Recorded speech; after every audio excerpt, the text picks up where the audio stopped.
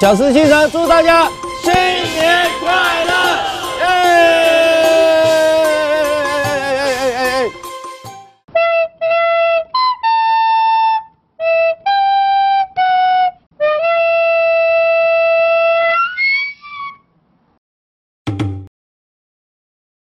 ご覧の番組はシアオシ自動車からお送りします。 Brodo 百年欧系刹车品牌，得您信赖。 昨天弄到这里，今天要开始先把这边复原，把便当盒装回去，水管装回去，水管回去，便当盒回去，然后化油器对化油器，最后我们再来调整它的风门。风门，今天就先把这边都复原，然后我们下一步就是修后弹。后弹带对，，后弹因为它那个扇形间齿轮间隙蛮大的，天空天空的。对，我们要把整个后后弹分解开来，然后把中间的那个凤梨头的扇形齿整个全部细拆。细拆哦，对，然后自己剪铜垫片，因为厚度会不一样，嗯。间距不一样，所以我们铜垫片都要自己剪，嗯。然后去把它垫回去到应该有的位置。嗯，那因为我们来说，那个凤梨头它我们齿轮的凤梨头是这样打，它在走的时候它会这样咔咔咔咔，这里间距会越来越大。嗯，然后我们会剪铜垫片，把这两个主齿轮往中间垫，让它间隙变小。哦，让它接上去，对对对，让它接上去之后，它的有离空间就变小了，哦就不会有那个碰撞的声音了。对这后单后驱车几乎很多都久了都会都会产生这个问题。嗯哼，对啊，那我们就先把这里先复原好，上把，上把。哎，这个风扇是不是要加？呃，我们到时候看一下它的，因为这个水箱已经是厚的了，嗯，我会比较倾向改成离合器风扇。离合器风，，对，可是先决条件像我们先看它这个散热条件够不够。嗯，对，因为其实离合器早期八几年的速力其实原本就是做离合器风扇，嗯，然后后来到九零年 G 楼的时候，他就把它换成电子风扇。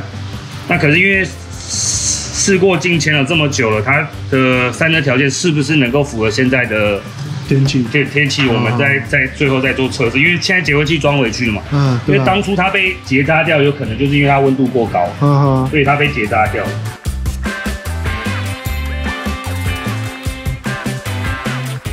看都锈了。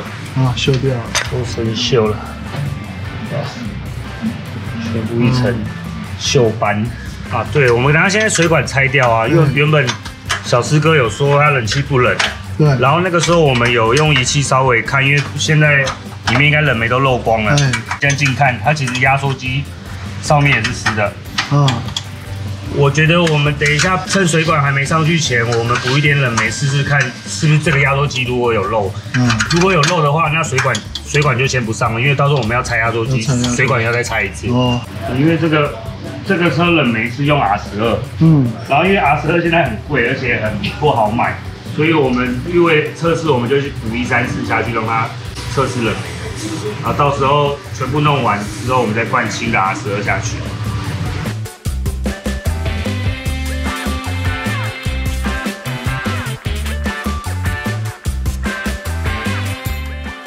它现在我们在侦测大气的时候，它是不会叫，嗯然后也没有任何灯号，真的真的，对，没有灯号。啊，如果它有它有漏的话，漏的多寡，它会显示在这个字嗯幕上面。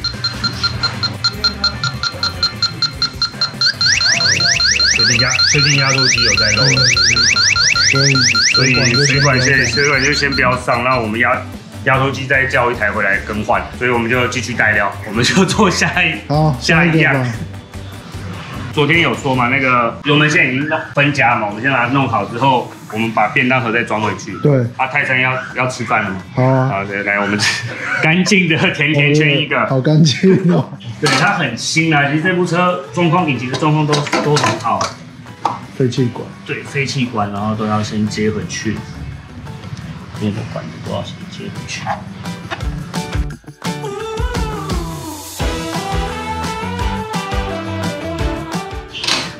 把甜甜圈放回去，好，盖子盖上，对，好扣起来。扣起来。这部分就完工了，那我们现在就顶起来，我们来看一下后弹要怎么修。哦，好。那现在这上面我们现在看到这边都有油渍嘛，哎，这个都都在渗油。然后这个没有卸油螺丝，那就这个塑胶盖，嗯这是软的。等一下我们要把这个挖开，嗯这些螺丝全部拆掉之后，把这个盖子拿出来，中间有一个凤梨头，那这两个轮轮圈轮轴要往外抽。嗯，轮轴要抽掉之后，这个才拿得出来。然后我们主要是要修，今天要修是这个里面这个小齿轮。嗯，好，我们现在先把它拆开。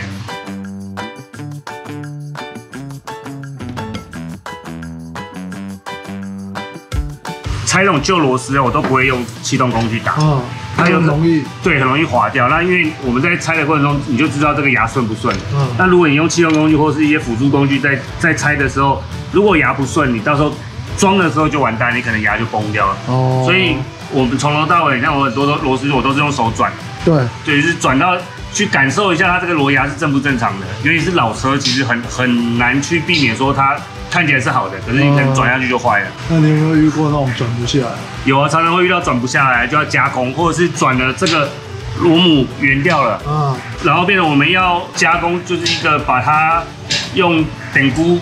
把它螺牙重新点一个头出来，这条人铝以前去夹，嗯让它去转。那如果牙已经很短了，我们就必须要用那个电焊打一个头出来，之后再焊一个螺母，辅助它再去转。对，那因为你在焊的过程中，这个螺丝是会加温的，它表面上面这个里面的这个螺牙，它有可能因为高温下，它的锈斑会去嗯，分解掉，对，就不会咬得这么死。很多说你问我不找学徒？我我不敢不太敢请学徒啦，因为学徒不能说他不用心，只能说呃他们会觉得对很麻烦，都要用手转，我可能就用工具直接打，嗯然后一打完蛋了，他把牙打坏了，我后续要更麻烦，要修更麻烦。对，呃，小志哥有提到说为什么这个这个车刹车为什么制动力不好，包括手刹车也不好，嗯，它只有一条钢索，从这里对。从里面车内拉出来一条钢索，到后面先拉左边，再拉右边，啊，所以它是一条一条去联动。你看我这样一拉，嗯，它是先拉那边，这边是被被它带过去的，对，所以你的制动力就会不好，对，就会比较差。那现在的车就是一条钢索从车前面它就分成两条出来左右拉，嗯，它不是只有靠一条去牵引，对，所以制动力就差蛮多的。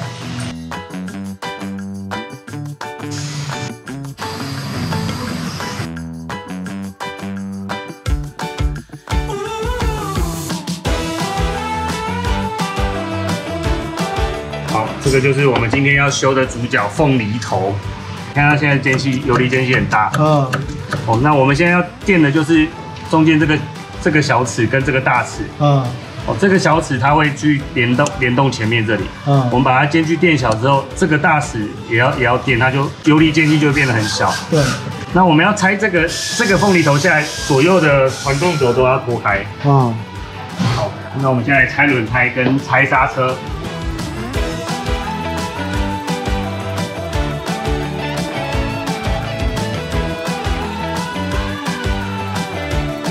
它当初有换有换过了，通常这个你用到这个年份哦，这个刹车骨都会吃的一勾一勾一勾一勾一勾的，然后刹车分棒也是新的，刹车皮也是新的，嗯，赚到了赚到了。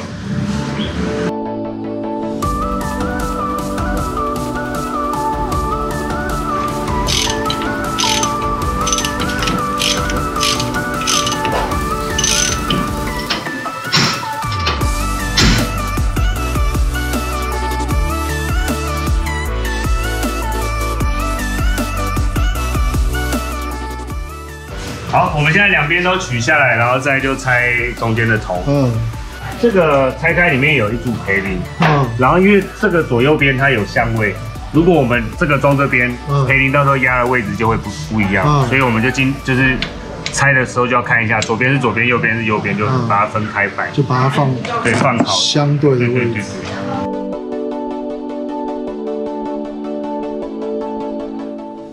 这个如果你装错一样，嗯。你的阿手比就会不就会不一样。就。不一样，对，所以我们等一下就是要拆这个齿轮下来修，这个嗯这组齿轮下来跟这个外圈，好，一样，它去泡去洗干净。洗。干净，对，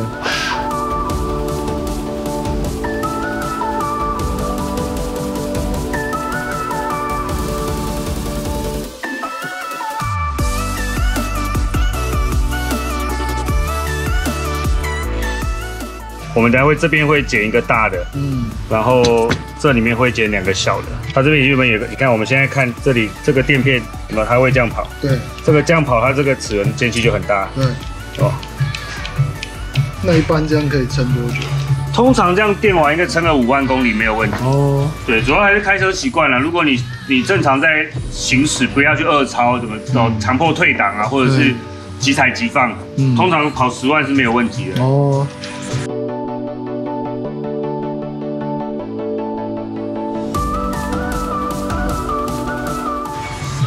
所以箱子就出来了。嗯，哦，这个箱子有有点受伤了，所以我们来跟我跟他敲，有一段卡卡的，哦下不去哦。我等下把破片找出来。哦，这样破片在这里，它破掉了，所以刚刚难怪敲不动。断掉了。对，它断掉了。哦，这个都破了。这个就是它的齿原本的垫片，嗯，它破掉了。它应该是圆的，是圆的。对，它现在只剩下三分之一而奇已。怪的形状。对，不规则形状，所以这间隙太大了。这个久了，它齿轮一定会磨损。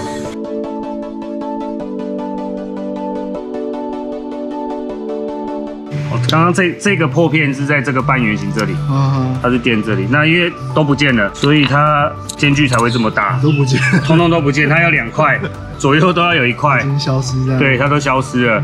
那这个东西买不到，嗯所以我们等下再拆拆一颗这个来取它这个，嗯，它应该完整的是长这样。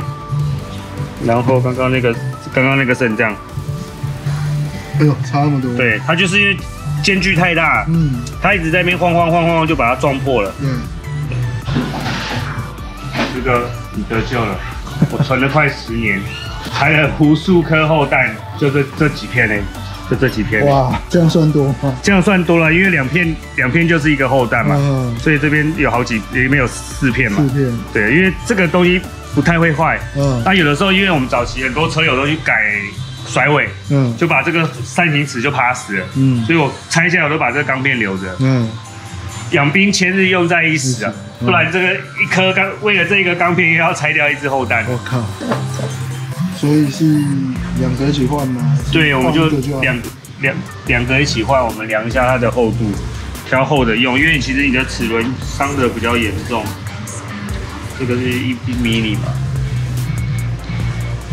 对，这比较少，这不到一米米，对，就是每一个环节差一点，差一点点就它那个齿距就会变得很差很大。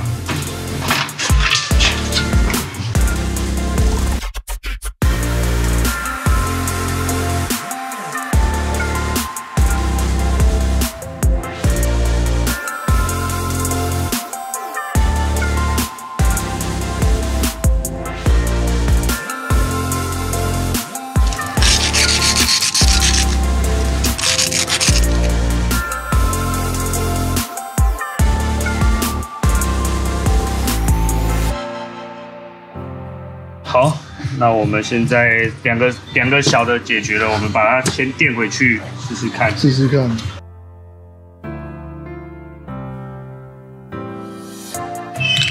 先暂时，我们先暂时穿着哦，然后我们来看一下这个齿轮，然后它现在就就没有间隙，嗯，还是有一点点了。点点。对，就是我们可能要那电会不会太厚？对吧？它是深一点，所以我们可能再垫一片薄的，嗯，上下再垫一片薄的，让它它手比再小一点。嗯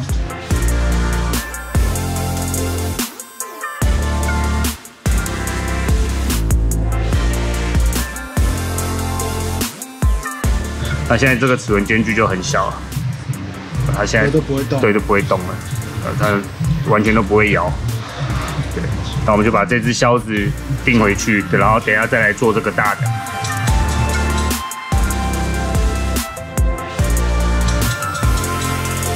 那我们现在把销子钉钉进去新的，那这个已经断了，对距离不够，我们就打新的下去就好了。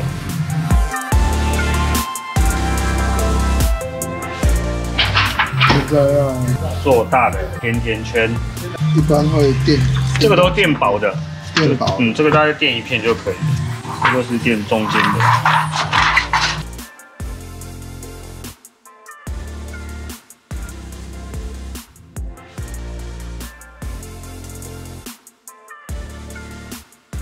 汽车教授职人洗车用品专卖，低価格。出门在外只有圣帕斯。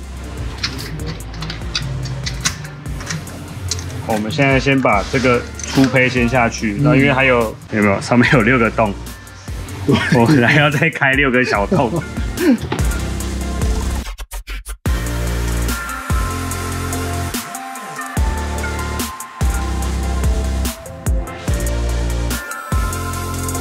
六个孔哎，都修好了。都修好了。对对对，我们现在再把把这个主体对回去。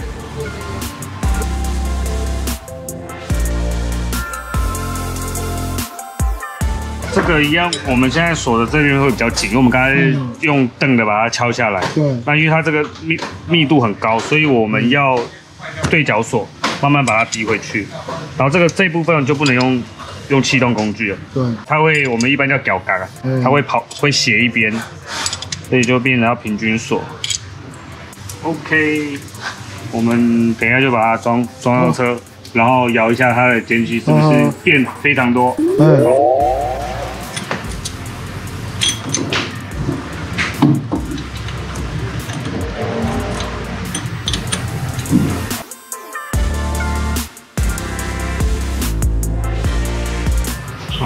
现在刚刚垫的这个大齿啊，嗯，就是里面这这组齿轮。我们现在这样转，它的手比就很小，对。哇，它几乎没有什么手比，对，就是它它一转它就跟着走了。嗯，然后我们等下再把两侧的传动轴插下去，就完工了。然后我们现在把右侧的先放进去，就是如果就看得到它对在转。对，我们这边转它就跟着转，嗯，就是它已经已经吃上去了。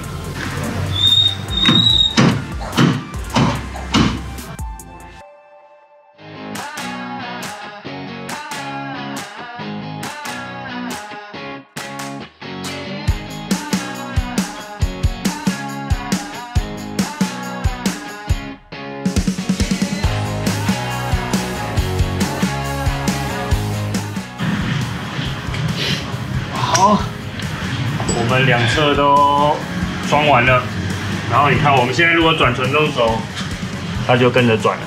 哦，你看这间距这么小，嗯，哦，对啊，都不会晃。然后传动轴这里也不会刚刚来，我们现在抓着，嗯，你看一下拍传动轴这边，这边走它就跟着走，就没有刚刚那个扣扣扣扣扣扣，你看我现在转那么大力，嗯，没有声音的，对，对啊。一整天的劳力就给这个这个凤梨金钻凤梨收成的收成。收成了收成了，那我们等一下就这边稍微清洗一下，就先把它盖回去，对，因为这个要打胶了。嗯，这边因为它原本也是也是纸的垫片，对。那我们稍微清洗干净之后，就打胶先粘着，然后等明天稍微胶干了之后，我们再再打油进去。对。对。啊，这个也要上。对，刹车皮这边我们等一下就直接再直接做清洗，然后再把刹车鼓放上去之后，呃，刹车的部分还要再强化嘛，所以到时候我们一起连刹车油全部一并都更换掉。对，下一个细节就是这个后站修完了，我们就要来修这个钢板的悬吊橡皮。啊，然后这总共有有四有六颗，一二三四，嗯，然后前面这边还有对前面有两颗大的，嗯，那等于是这组这组后站要悬浮的，要要拿一个支撑架把它撑住。对。好，那今天会弄吗？不会。今天会。我们要逼你，我们要逼你。没有，我们就先先把这边都复原完，嗯然后钢板的部分我们休息一下，等一下再来做。好好好。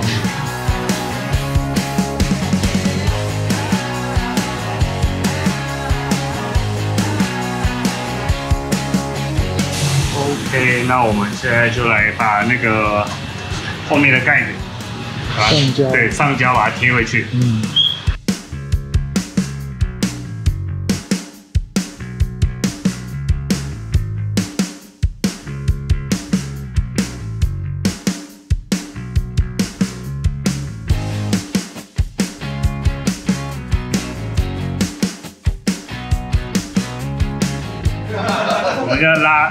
它都有都有做动，同学互相参参考一下。呃它两边就同同步在流动，嗯，这样就 OK。好，我们等一下来拆后弹。对我们现在要来拆这个钢板悬吊的这个橡皮哦。啊那因为这些螺丝都已经很久没有没有动过，所以我们先喷喷那个除锈剂，稍微让它摇一下。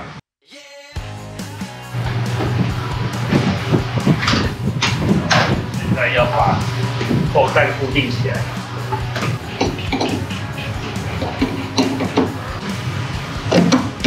哦我们这个部分它就是这样靠着，嗯，然后这边会有一个像 U 字形的活动梁，对，然后我们前面还有一组橡皮，我们等下这个等一下再脱下，我们先把后前面那边也拆起来。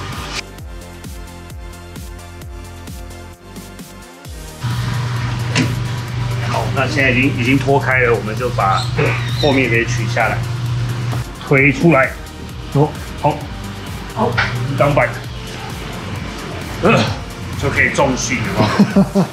哦，很重吧？泰山要不要来接 重训？好，这个就是钢板橡皮。那这边还有，这边还有一组哦，这个、嗯这个是原厂的定定位橡皮。那这个橡皮现在已经买不到，即便你买到了，也没有这么大一个定位销，就是通用型的，通用型的很洞很小。嗯。但因为这组橡皮完整度还很高，嗯。所以我们就继续沿用就好了，没有到破掉或者是已经嗯。变形到不堪使用。嗯。因为主要这个重点是这个要定位了，这个它就是这边有一个那个螺重心螺丝嘛，嗯。然后就是它就是这样下去，对。那原厂的它就是零对零，直接是满。哦，那如果你是买外面通用型的，它这个螺丝牙是对不到的，嗯，它已经其实它已经偏心了啦。嗯你看它其实这个这螺丝孔这里比较窄，这边比较这边比较宽，对，然后取下来。哦，新旧，它它已经这整个已经偏掉了。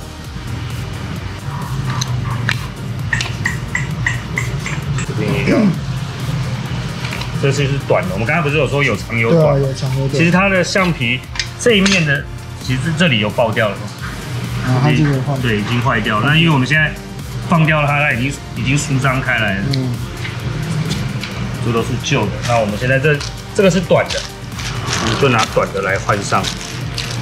这个是短。的，就是一个新的，一个旧的。嗯，它其实也一样有有已经偏一边掉了，对，然后偏一边，对啊，所以我们这个就塞下去，好，翻过来，然后这边也把它塞下去，然后这一头大颗的，一样把它顶下去就好了。好，我们刚刚拆下来的时候，我有发现一个问题了，嗯。它这个这个钢板的这个固定座，嗯，看它已经已经松掉了。嗯。所以你在开的时候，它就滴勾滴勾勾勾勾，然后这里已经有点锈，那就是我们在压的时候，钢板要这个钢片，这个钢板片会跑，嗯，所以我们在压的时候，这个钢板片它会一片一片会会会平行舒张，所以这边会产生锈斑，嗯它会磨损。对，那我们已经拆下来了，这个这个固定环我会重新把它压紧，然后这个钢板片这里会塞一些黄油，让它减少它的它的意义。嗯哼，用这个弓形钳把这个夹具重新夹紧。你看这边都其实它它这边都已经有点打开了哦，我这个工具直接就放进去了，哎，对啊，这个整个是松的。这个是松 到不能再松，对，那这边也是啊，都是松的。对，那我们现在趁它现在还还是开的，我们我们把黄油先塞一些下去，然后等下把它夹紧它就好。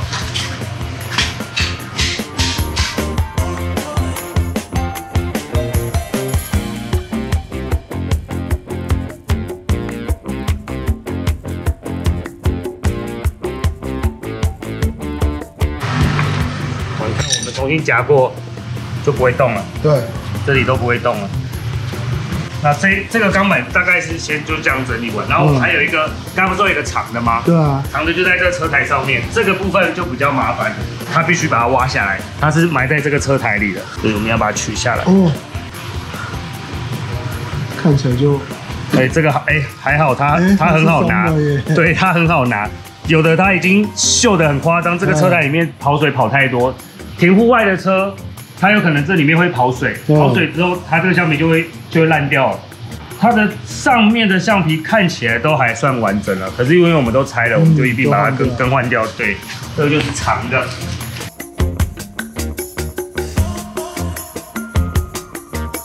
这个上面你看，它有残留一些旧的胶纸在上面。嗯，哦，这因为我们都拆了，我们一样就钢刷稍微洗，稍微把它把它打磨一下对，弄干净。那一般它这个橡皮酒，它还是会在在这个里面，它会它会去刮你的橡皮。嗯，好，你看，我们现在打磨完了，它就没有刚刚那个黑色的残胶了。对，哦，那这样就可以就可以回去了。我遇到很多是这个磨损坏掉之后，它就这只芯变瘦了，嗯所以我们那个这只芯就要整个打掉，重车一只新的。啊车一对，因为这个这个不是耗材，这个买不到，嗯这个不是耗材，但是它品相很好，那我们就把它装回去。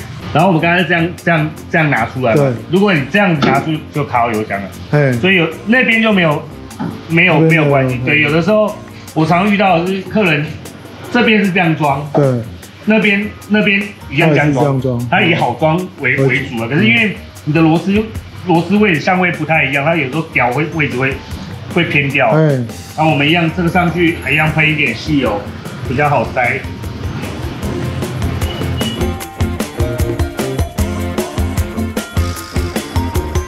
好，然后我们就把钢板重训的钢板，弄回去。对，很重啊，很重，拿一下。你要拿一下吗？我们来看，好，哦。哇，重哦，有没有重？哎呦，嘿嘿这个大概有 十五公斤吧。呃对，重训。所以要不要现在泰山你需要，我现在留一组钢板给你，回去回家自己，当这个杠铃有，嗯，不错哦，不错啊。我下一次留，如果有我留我留头拉骨的给你啊哦，你的体格需要头我拉骨。可能会死掉。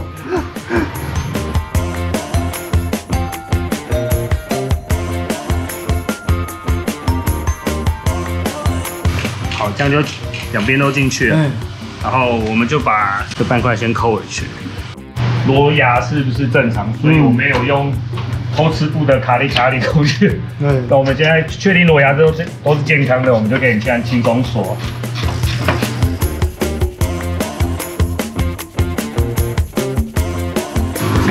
它这样就有密合，它有下去了。如果你没有密合，没有下去，它就会有个边。对，好，然后我们这个再把它摆回来。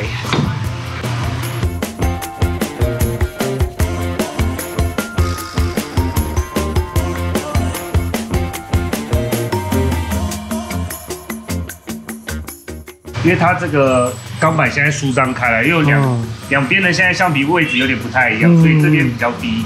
那我们现在再把这个放掉，把这个平板调到平面，嗯它才能整个上去。因为这两个现在钢板位置不太一样，这是轴有点歪。啊，OK，好，你看一下上面这个馒头这里啊，它就是刚好全部都紧配了，它就是拉拉住这个。那我们有时候拆的时候，这个吸型钩会跑来跑去，对所以我们刚才所有的这边的土全部都要打干净，它才能够整个很完整的把它压回去。对啊，现在都没有空对，气，都没有空隙。对，因为刚刚有一层土或油垢，它就会它就会塞住。你可能在开的时候，这只轴这只后蛋会这样翻，对，翻一翻它就松掉了，嗯巨型螺丝就松掉了。好，那我们这边换好了，我们再拆另外一边哦。还有另一边，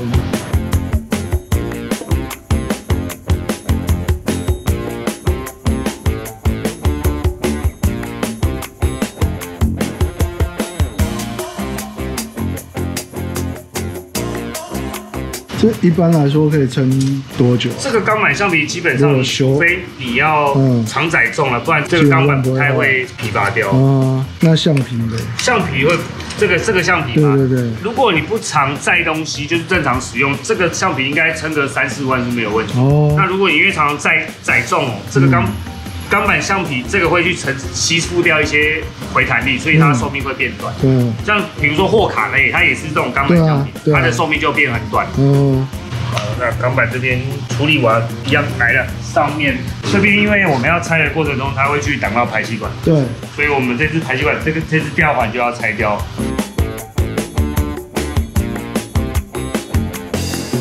排气管呢，这个都是原厂设计，它不是靠一些吊环，它啊，是靠橡皮，橡皮，然后去空压的啊，自震而已，所以它是用锁螺丝的，哦，比较特殊。感觉也没有坏的很严重，对它这个有一点点破，这应该是它自己塞的啦对啊。他塞一个橡皮在这里面嗯，自震。通常上面这组橡皮的受力不会像底下那个嗯短的那么那么持持重，因为那个是会会绞那这里只有辅助它前后摆动而已，所以上面这个橡皮的损耗率比较低。嗯，那我们一样把它换掉一样，是要换对，都换掉。现在打磨完，它已经干净很多了。我们对这个先上，然后排气管赶快把它调回去一一对，一一归位。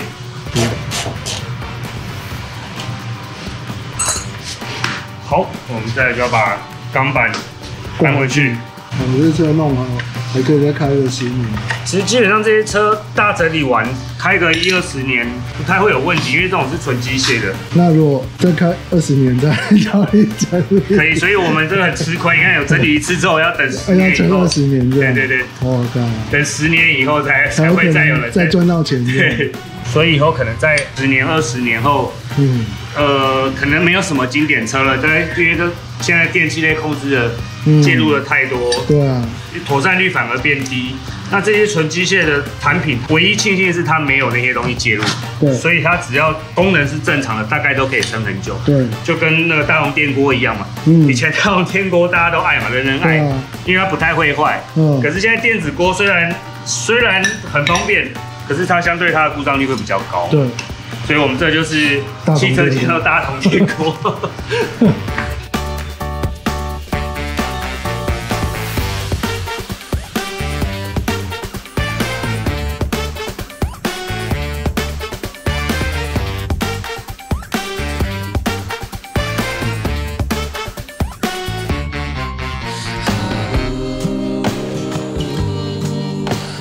现在就要把 U 型螺丝跟这个减震筒的托盘固定装回去。对，我们最后一个步骤，最后一个步骤了。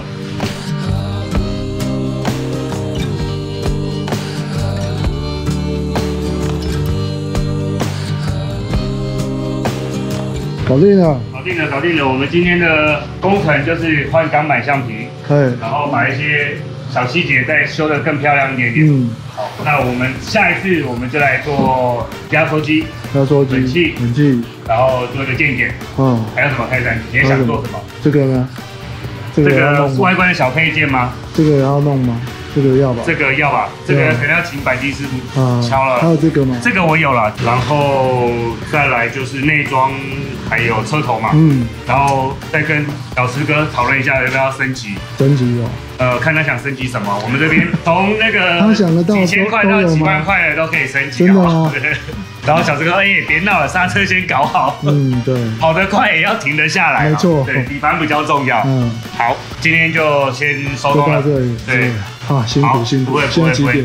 九点了。九。点了，对，哦我们从两点半开始拍，拍对到现在九点，只为呈现最棒的画面给观众朋友看。嗯，好，记得按赞、分享、开启小小铃铃铛哦。好，那我们就先这样吧。好，OK，拜拜，谢谢，拜拜。全台玩家最推荐的娱乐城，立即下载聚宝 Online。